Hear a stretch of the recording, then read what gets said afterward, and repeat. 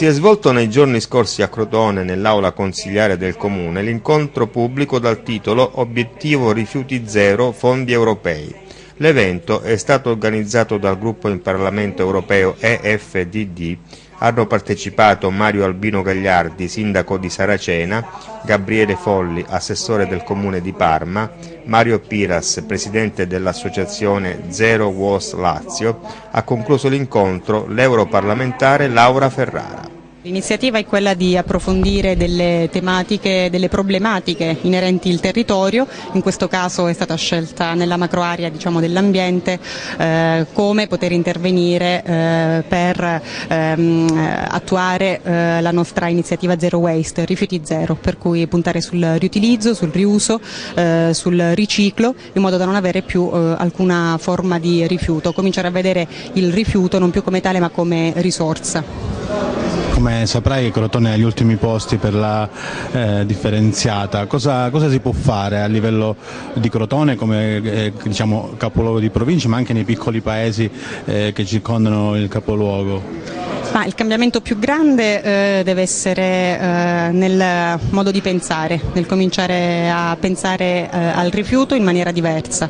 Eh, anche per questo parliamo anche di rieducazione, eh, cominciando a eh, guardare al rifiuto in maniera diversa, torna a dire come risorsa, allora ecco, si ha un maggiore rispetto per l'ambiente e di conseguenza anche per noi stessi. Si può arrivare a questo? Noi siamo ottimisti, assolutamente si può arrivare a questo, non è nulla di impossibile, eh, nulla di utopistico, basta volerle determinate cose eh, e si, si, riescono ad ottenere. Se si capisce che eh, l'obiettivo è eh, la tutela della propria salute, la tutela della salute propria e di conseguenza eh, di tutti eh, i cittadini, è evidente che il passaggio al cambiamento del modus pensandi è breve. Difficile però si, si deve provare comunque. Eh, se non si prova non si ottiene nulla. Al Parlamento europeo cosa si dice di Crotone, della Calabria? Ma al Parlamento europeo si, si parla diciamo, di eh, diverse tematiche inerenti a diverse regioni, diversi Stati membri, eh, ciò che a noi sembra peculiare del nostro territorio poi a conti fatti eh, è, fa parte di eh, diversi territori, ecco, non solo della Calabria, non siamo esclusivi, nel bene e nel male non siamo esclusivi, per cui problematiche che eh, crediamo eh, siano inerenti esclusivamente alla Calabria poi a conti fatti accomunano accomunano il nostro territorio a tanti altri, eh, per cui bisogna ehm, guardare ecco, ehm, al problema eh, in maniera più eh, globale. Tra poco le elezioni regionali, come andrà a finire? E noi ci auguriamo bene, noi ci auguriamo bene, ce la stiamo mettendo tutta, ancora dobbiamo eh, cominciare, abbiamo un gran bel programma eh, redatto diciamo, dai, nostri, eh, dei, nostri, attivisti, da persone che hanno deciso di mettere a disposizione parte del proprio tempo eh, per eh, individuare dei punti eh, su cui fare leva nel corso della campagna elettorale, delle proposte, dei progetti che esporremo a tutti i cittadini nel corso della, del tour che mm, nella regione Calabria, eh, per cui eh, le aspettative sono, sono, buone, sono tante, eh, speriamo di avere un buon risultato.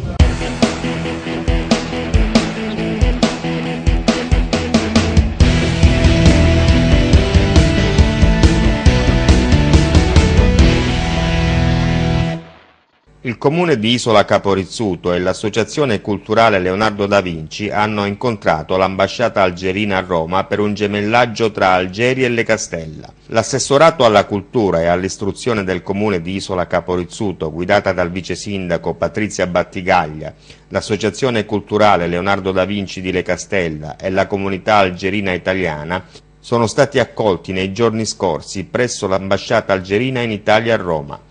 Oggetto dell'incontro, come richiesto dalle tre realtà protagonista, è la volontà di avviare un gemellaggio culturale e sociale tra la città di Algeri, specificatamente tra la Casba, e il comune di Isola Caporizzuto.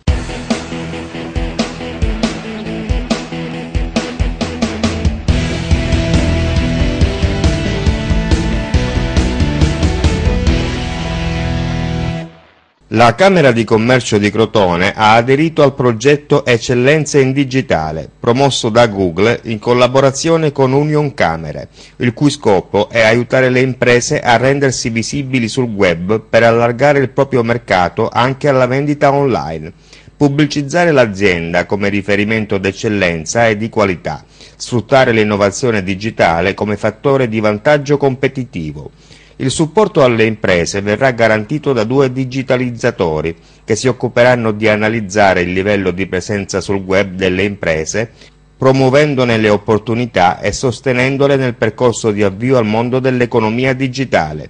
Le imprese interessate potranno beneficiare di un'assistenza continua e di un percorso di lavoro personalizzato. Oggi siamo alla Camera di Commercio, le aziende interessate a Google, interessate all'e-commerce, al commercio che viene fatto attraverso internet, se ne parla proprio in Camera di Commercio e insieme a noi c'è il commissario. Ecco, parliamo di questa iniziativa che è stata fatta in concomitanza con Union Camere e il colosso di Google. Ecco, quanto può interessare alle aziende nostrane questo tipo di iniziativa? È un'iniziativa sicuramente molto interessante che conferma ancora una volta come il sistema camerale nazionale, in questo la Camera di Commercio di Crotone, si pongono all'avanguardia in termini di sensibilità verso quelli che sono i nuovi tematismi dell'innovazione tecnologica e digitale e soprattutto si pongono all'avanguardia essendo questi proprio gli ambienti giusti dove poter fare innovazione e promuovere l'innovazione sui territori. Ne è testimonianza l'adesione a questa iniziativa che Union Camera ha portato avanti con Google e che vede oggi la Camera di Commercio presentare un progetto sul territorio per la, per la fornitura di servizi digitali alle imprese crotonesi. Internet ha portato benefici però anche diciamo, delle difficoltà alle aziende, chiunque ormai si rivolge al computer per poter acquistare dai vestiti ad elettronica un pochino tutto, ecco, quindi un adeguamento delle aziende ci vuole se vogliono continuare a sopravvivere, quindi non solo la vendita allo sportello, non solo vendita in loco ma anche su internet, abbinare le due cose può essere la soluzione vincente. Eh beh, assolutamente, eh, nel senso che oggi dire, il problema di internet non è solo un problema di infrastrutture ma un problema di sensibilità al contesto nel senso avere la capacità di comprendere che eh, la soluzione internet passa attraverso la condivisione sui social, passa attraverso cloud computing, passa attraverso tutto un sistema di competenze che purtroppo in Italia ancora dobbiamo recuperare. Non dimentichiamo che siamo uno dei paesi eh, che in termini diciamo, di ritardo nelle competenze purtroppo registra ancora molta strada da fare Eppure l'economia digitale vale oggi nel contesto diciamo, internazionale 5,5% del PIL, in Italia ancora siamo intorno al 3, 2,5-3, per cui anche su questo dire, bisogna investire e la Camera di Commercio insieme alle aziende crotonesi attraverso questa iniziativa intende fare proprio, dire, muovere un primo passo verso la digitalizzazione del sistema delle imprese crotonesi. Ecco, a proposito di aziende avete avuto sentore, voi che diciamo, la Camera di Commercio è un pochino il termometro dell'economia della nostra nostra zona. Ecco, quante aziende aderiranno, quante aziende sono interessate all'e-commerce? Mi auguro tantissimo, eh. intanto perché eh, voglio dire, come abbiamo detto prima, è fondamentale stare sul, sul digitale e poi perché i tematismi che abbiamo individuato come i prodotti tipici territoriali, il turismo eccetera sono diciamo, quei settori che più risentono dell'assenza uh, sulla, sulla, rete, quindi per le nostre imprese credo che questo sia un momento importante, tenuto anche conto che l'iniziativa che forniremo è un'iniziativa assolutamente gratuita. Forse sono più avvantaggiati i giovani rispetto a chi ha qualche anno in più a questo tipo di attività. Ma io credo che questo sia ormai un luogo comune abbastanza superato, sì è vero che c'è una componente chiaramente giovanile che meglio si interfaccia con le nuove tecnologie, però è anche vero che diciamo, ormai siamo gioco forza tutti quanti sulla rete, eh, vuoi per eh, diciamo, i rapporti con il sistema del credito, vuoi per i rapporti con il sistema della pubblica amministrazione, vuoi per quello che appunto può significare oggi la promozione dell'economia sul digitale. Internet è una straordinaria opportunità per aziende di ogni settore e dimensione che possono far conoscere i propri prodotti anche di nicchia oltre i confini nazionali raggiungendo nuovi mercati e nuovi clienti in tutto il mondo. Maturità digitale ed export hanno un impatto diretto sul fatturato delle imprese fino al 39% del fatturato da export delle imprese di medie dimensioni che sono attive online e realizzato grazie al web.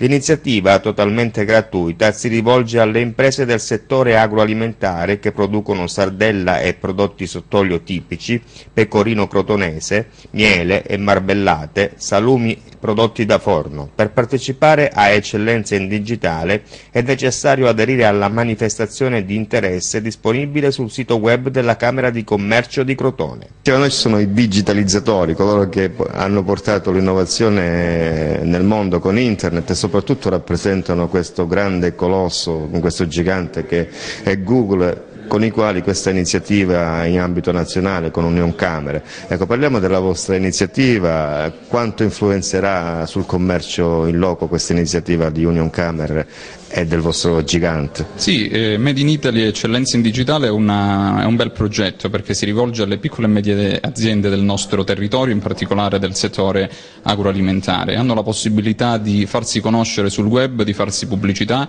eh, e la nostra speranza è che attraverso questi strumenti possa intercettare nuovi canali di vendita.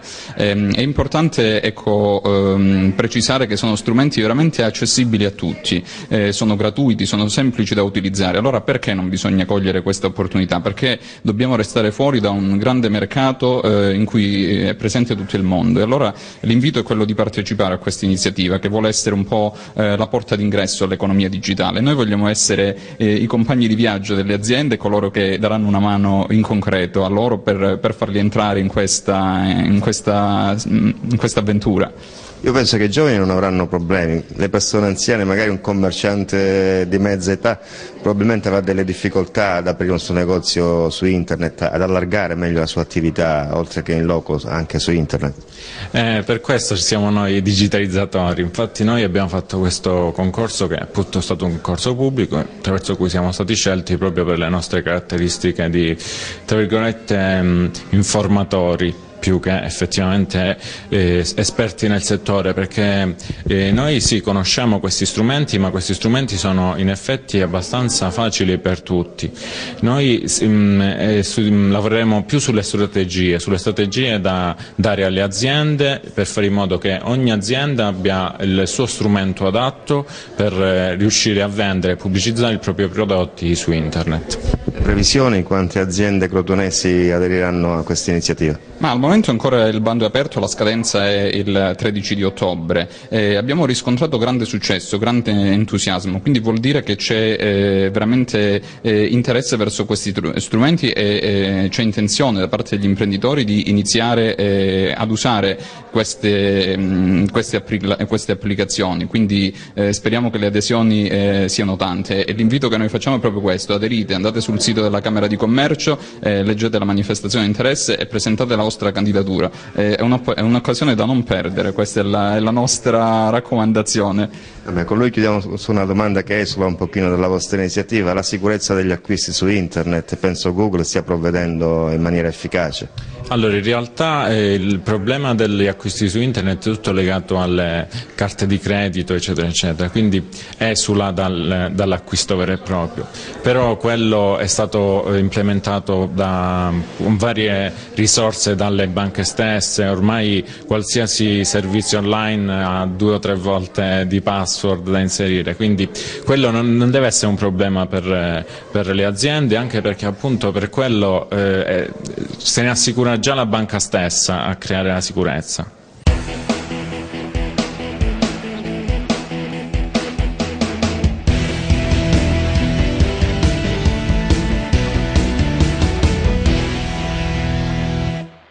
Si è svolto a Crotone, al Museo del Mare e della Terra, il seminario sullo stato di salute del sistema sanitario nazionale in Calabria, proposto da Cittadinanza Attiva, Tribunale per i diritti del malato e Fondazione Lilli.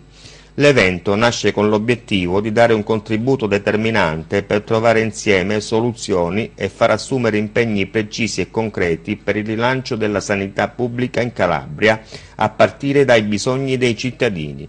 Con queste parole Tonino Acetti, coordinatore nazionale del Tribunale per i diritti del malato cittadinanza attiva, ha aperto l'appuntamento calabrese del ciclo di seminari sullo stato di salute del sistema sanitario nazionale e regionale, promosso da cittadinanza attiva e Fondazione Lilli. Oggi un uh, convegno, si parla di sostenibilità del sistema sanitario pubblico eh, organizzato da Cittadinanza Attiva e insieme a noi la componente della direzione nazionale di Cittadinanza Attiva, il dottore Corrado. Ecco, dottore, la sanità calabrese ci sarebbe tanto da dire, chi dice bene, chi dice male, secondo me la verità sta in mezzo. Ecco, parliamo di questo convegno di oggi, parliamo da che punto eh, si vuole partire da, e porre le basi per un futuro della nostra sanità calabrese.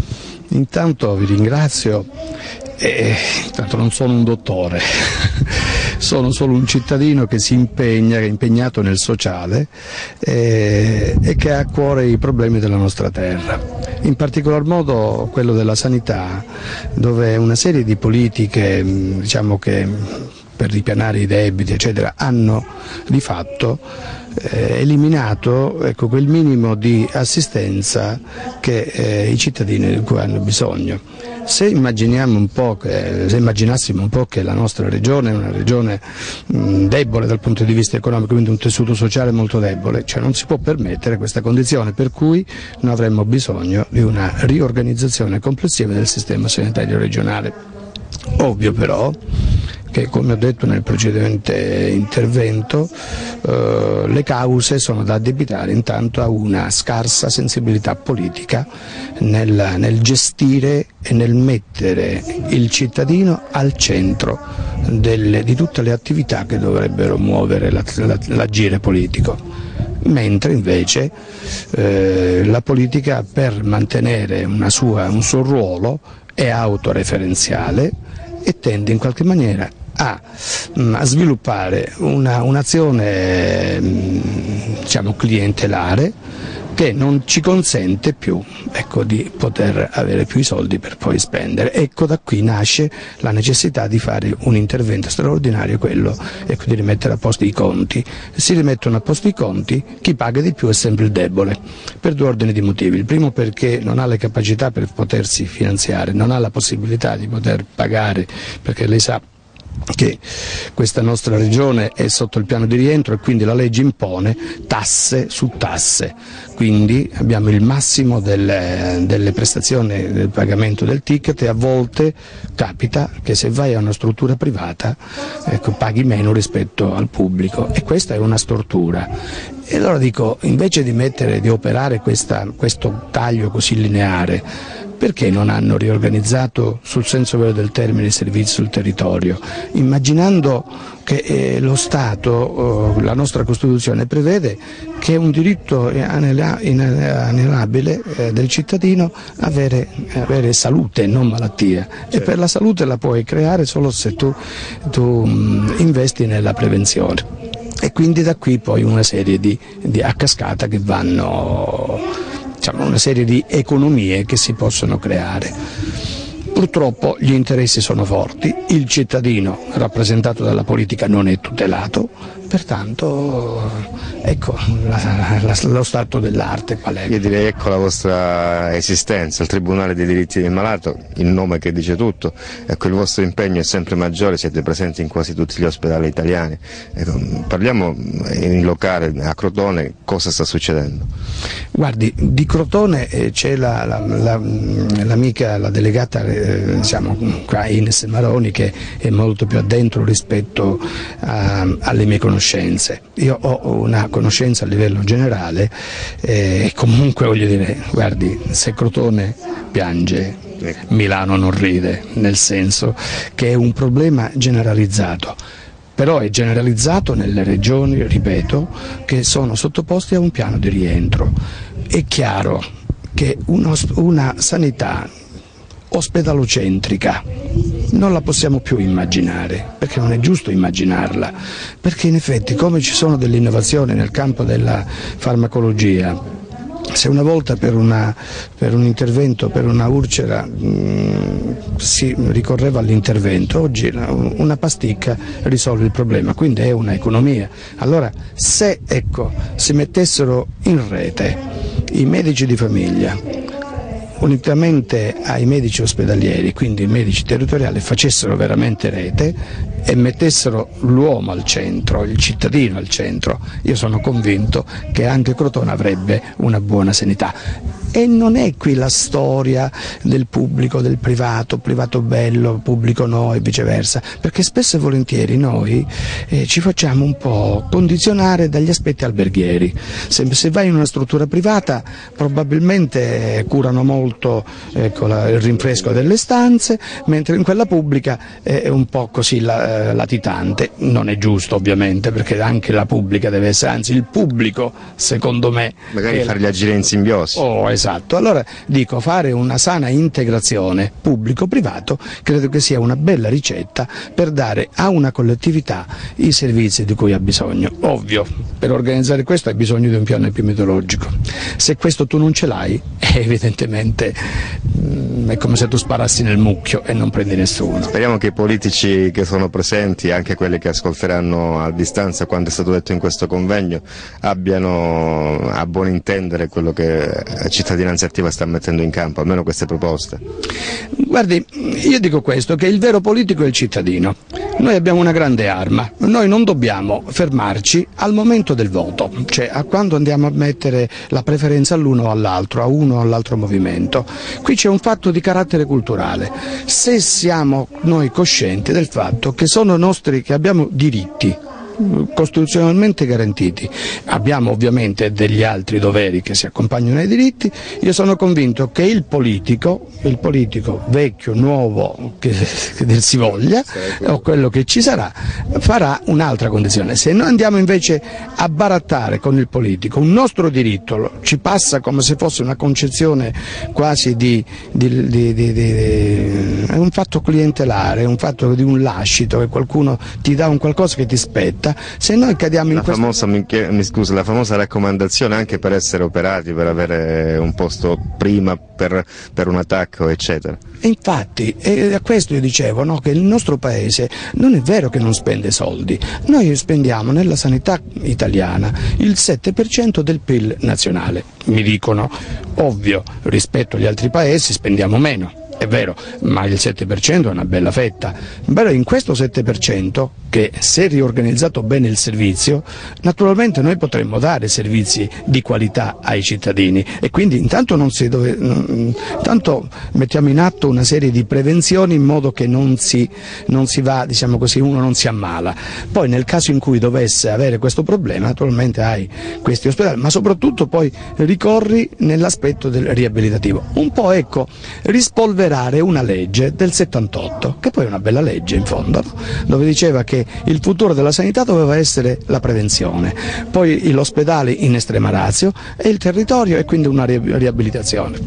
Questo significa che tu hai queste risorse di cui tu hai, li spendi bene e soprattutto attraverso questa azione elimini di fatto, se il cittadino è vigile ed attento e quindi è consapevole dei propri diritti, quella corruttela che è ed è tanta nella, nella, nostra sanità, è tanta, ma non è solo la sanità che è corrotta, ahimè purtroppo è un fatto che è generalizzato, tuttavia però ecco, questo parte proprio dalla corresponsabilità, della responsabilizzazione del, del cittadino, non suddito cittadino, uomo libero. E quindi noi siamo nella città di, di Alcmeone, eh, eh, che diceva che la salute tu la costruisci creando un equilibrio.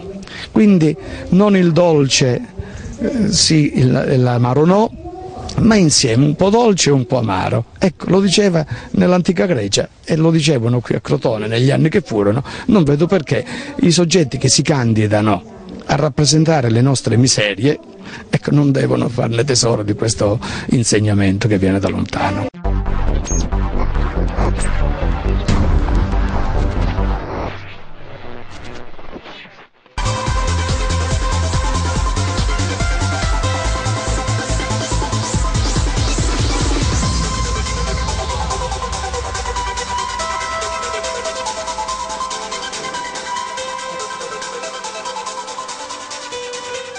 Siamo qui a Cutro ai campi sportivi con Nicola Martino, segretario della S Cutro, che oggi ha organizzato insieme allo Juventus Club di Isola Caporizzuto un raduno di calcio a 5 femminile. Ci spieghi un po' allora, questa iniziativa? Allora, per quanto riguarda la nostra iniziativa, siamo partiti eh, l'anno scorso col fare eh, la squadra eh, diciamo, eh, delle eh, ragazze per riproporci quest'anno di organizzare una vera e propria scuola calcio eh, anche per, le, per, dare opportunità anche alle ragazzine più piccole eh, e per alimentare anche quello che può essere eh, il serbatoio, ecco, una piccola cantera come direbbero in Spagna eh, della nostra squadra eh, grande. Eh, c'è stato d'aiuto anche il club Juventus di Isola, quindi una collaborazione anche con loro e diciamo che come scuola calcio femminile è la prima eh, nella provincia di Crotone. Eh, eh, al di là di questo vediamo quest'oggi come risponderà il pubblico, speriamo, speriamo, bene perché noi ci mettiamo la passione eh, anche in tutto ciò che facciamo, ecco, come dalla scuola calcio che l'abbiamo riaperto dopo tanti anni, eh, stessa cosa eh, con questo primo raduno femminile. Ho visto che nonostante la bruttissima giornata, ieri è piovuto tanto e anche stanotte c'è qualche ragazza anche arrivata dal circondario, insomma, sì, mi sì, dicevi Steccato, Crotone, sì, oltre di a Cutro. Steccato, di Crotone, eh, proprio hanno grazie a loro hanno risposto positivamente diciamo, a questa nostra eh, iniziativa e eh, il calcio va avanti nonostante la brutta giornata e noi ci mettiamo la passione, eh, speriamo che le ragazze rispondano positivamente e continuino a rispondere positivamente. La squadra principale femminile l'anno scorso come è andata? La squadra eh, principale l'anno scorso è arrivata in finale di Coppa Calabria, eh, poi persa eh, a merito Portosalvo, persa nella finale. Eh, quest'anno eh, il gruppo è stato riconfermato in blocco. Tutti di Cutro? no, no, no ci sono alcune ragazze di Cutro, molte ragazze di Crotone soprattutto, un bel gruppo di ragazze molto affiatate e speriamo eh, al di là dei risultati sportivi anche di raggiungere obiettivi a livelli umani e di aggregazione. Che poi è il motivo principale che sì, vi spinge? Sì, che è il motivo principale, il sociale è quello che eh, soprattutto noi ci siamo proposti e eh, ci riproporremo. Sestito Ottaviano, allenatore della squadra femminile di calcio di, di Cutro. Oggi c'è questo raduno provinciale con prospettiva di fare una scuola calcio femminile. Una bella idea, non c'è che dire. E quindi, visto questa esigenza, abbiamo cercato di, di portare a Cutro, nella, nella provincia di Crotone, più ragazze possibile per fare una selezione sia per la squadra grande sia per creare questa scuola calcio che manca diciamo, in tutto il crotonese. È un'iniziativa che la società Cutro Calcio diciamo, e la Juventus Club, l'associazione, ci tengono tantissimo per portare avanti questa, questa diciamo, nuova iniziativa calcistica femminile. Per adesso eh, di calcio a 5 perché è il calcio più eh, minore, però la possibilità anche di fare calcio a 11 che per le ragazze è una cosa molto più interessante. Speriamo che questo raduno sia uno dei primi e che porta tanta gente, vista la, eh, la, la volontà delle ragazze in espansione di, di crescere in questo gioco molto bello. E da dove nasce questa passione per il calcio femminile? Eh, non lo so, è da due anni che mi sono molto Avvicinata? Avvicinata al Milan, alla ah, squadra. Eh, si vede. Poi vedendo le partite mi sono appassionata ancora di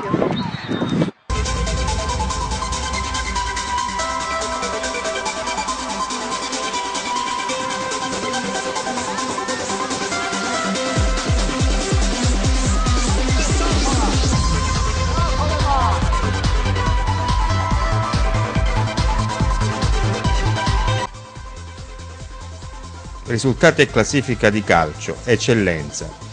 Calcio Gallico Catona, Polisportiva Isola Capo Rizzuto 1-0. Calcio Acri Bocale Calcio 4-1. Castroviglia di Calcio Pibonese 1-0, Cutro Scalea 2-0, Guardavalle Sersale 1-0, Palmese Corigliano Schiavonea sospesa per impraticabilità di campo, Paolana Taurianovese 3-2, Sambiase Lamezia Brancaleone 1-3. Classifica.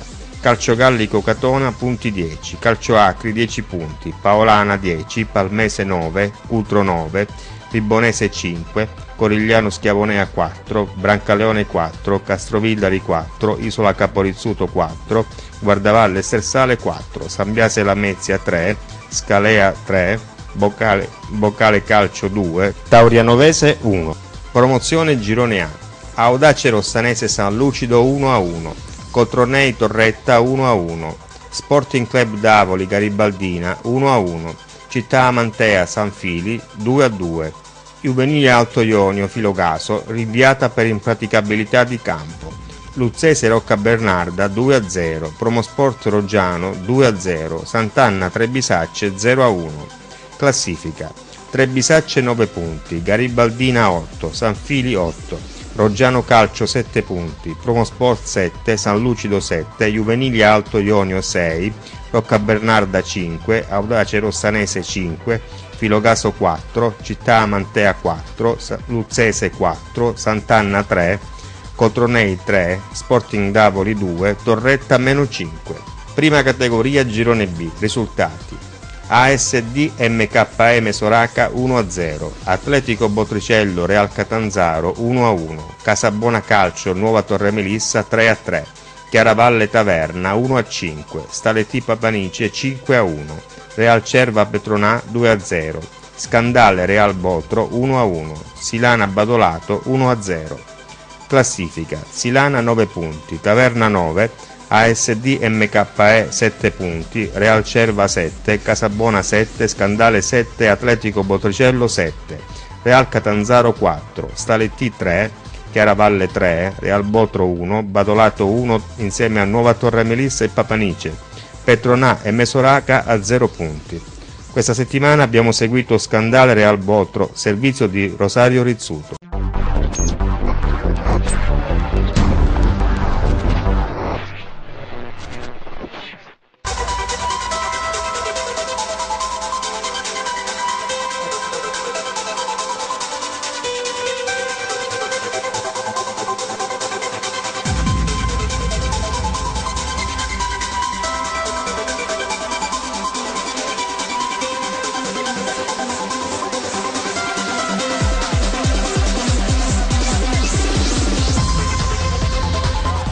Presidente Marazzita dell'US Scandale, oggi è sfuggita la, la, terza vittoria consecutiva, è arrivato solo un pareggio con Real Botro. Vabbè, è un bel pareggio con eh, una signora squadra, con ottimi elementi. E... Pareggio, penso, penso un pareggio giusto per l'andamento della gara. E siamo stati un po' ingenui sul calcio di rigore, e penso che c'era eh, però diciamo che un pareggio giusto e dobbiamo continuare così. Ricordiamoci sempre che il nostro obiettivo è la salvezza e di lottare domenica per domenica. Oggi non siamo stati eh, brillanti come al solito, ma abbiamo messo carattere su ogni pallone, ci siamo difesi eh, per quelle che abbiamo potuto e nello stesso tempo abbiamo espresso qualche azione positiva. Nel complesso ha visto bene la sua squadra? Eh, oggi ho visto tanto carattere. Eh, hanno dato tutti il massimo e abbiamo portato un eh, risultato che a noi ci fa comodo. Domenica si va a Badolato, una gara difficile come tutte ormai in prima categoria, eh, come organizzerete la trasferta? Ancora eh, sicuramente non, come si vuol dire, non andiamo a cambiamento d'aria, come si dice. Eh, sono tutte partite ostiche, un bel campionato, tutte con squadre attrezzate e andiamo a fare la nostra partita, sicuramente. Il migliore di oggi tra i suoi a chi ha visto? E poi come ha visto la discesa in campo negli ultimi minuti di mister Castagnino? Beh, è entrato in un, eh, Mister Castagnini è entrato in un momento un po' difficile della gara, però dà sempre il suo. Eh, la palma di, di miglior, eh, dice, miglior, calciatore di oggi la darei a Lumare che dietro ha, è stato perfetto diciamo, in ogni occasione. Ottima prestazione anche da parte del, dell'estremo Frontera. Sì, Frontera eh, diciamo che è stato impegnato poco, eh, però è riuscito a dare il suo nelle occasioni che è stato chiamato in causa. Cristian Grisi, centrocampista dell'OS Scandale, un tuo gol stava per regalare la terza vittoria allo Scandale, poi è arrivato il rigore. Sì, peccato perché era la prima rete in questa stagione da centrocampista. Il rigore magari era un po' dubbio, però l'arbitro ha deciso così e è andato a finire in pareggio. Come giudica questo inizio di campionato con la sua squadra? Ma eh, tre partite, due vittorie e un pareggio è un buon inizio che sinceramente non ci aspettavamo. Sicuramente siamo una squadra competitiva che lottiamo per eh, la salvezza tranquilla, però eh, abbiamo anche delle ambizioni per toglierci delle grandi soddisfazioni. Domenica prossima? Domenica prossima è una bella partita, ci aspetta un'altra una delle tante lotte come stiamo facendo in questo inizio di campionato. Andiamo fuori casa in un campo che non è il nostro. Speriamo di fare meglio, sì è badolato, speriamo di fare meglio di questa domenica che è stata anche un po' sfortunata.